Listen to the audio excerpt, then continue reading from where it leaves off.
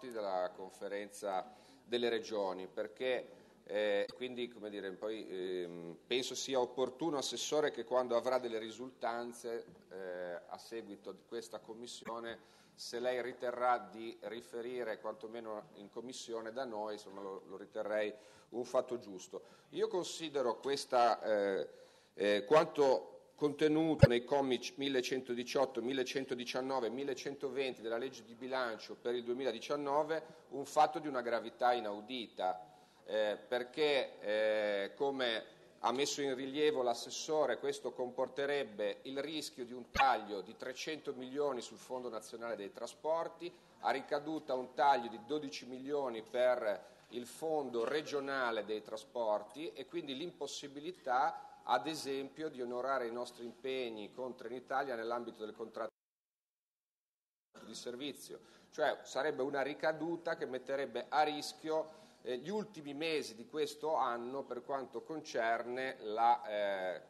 copertura finanziaria del trasporto pubblico locale all'interno della nostra regione. Ora, noi avevamo già conosciuto l'accanimento eh, del governo giallo-verde sulle infrastrutture e sulle grandi opere, è inutile qui parlare di Gronda. Eh, lo ricordo anche eh, a chi in questa maggioranza esprime il vice ministro dei trasporti, che è eh, Rixi, perché non c'è soltanto una responsabilità dell'ineffabile Toninelli, c'è anche una responsabilità di tutto il dicastero, di tutto il governo e di tutta la maggioranza. Perché che cosa è successo? Diciamolo con chiarezza. Siccome la legge di bilancio 2019 è una legge di bilancio strampalata, che è stata fatta su previsioni completamente errate, non solo eh, eh, si è deciso di ipotecare pesantemente la legge di bilancio del 2020, che partirà con uno scalino enorme, cioè dovendo recuperare 23 miliardi di euro se no scattano gli aumenti automatici dell'IVA,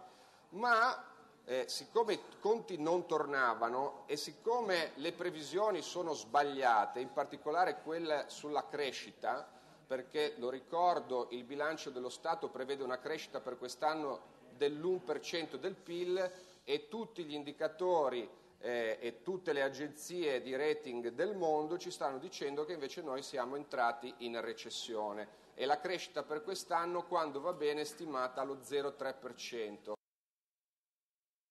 Se si eh, verifica questa cosa, e si verificherà questa cosa, vorrà dire che il monitoraggio di luglio dirà che quei 2 miliardi che sono stati per ora congelati e di cui fanno parte i 300 milioni di taglio ipotetico al Fondo Nazionale dei Trasporti non saranno più congelati e non saranno più tagli ipotetici, saranno tagli realizzati. Cioè quei 2 miliardi non verranno più assegnati e in quei 2 miliardi ci sono i 300 milioni e i nostri 12 milioni. È del tutto evidente che una regione come la nostra non ha la possibilità in pochi mesi di recuperare 12 milioni di euro da mettere a disposizione del Fondo regionale dei trasporti. Quindi ci sarebbe un cortocircuito enorme dal punto di vista della tenuta dei conti del nostro trasporto pubblico locale, un rischio gravissimo che richiede un intervento tempestivo degli assessori regionali e questo c'è, ma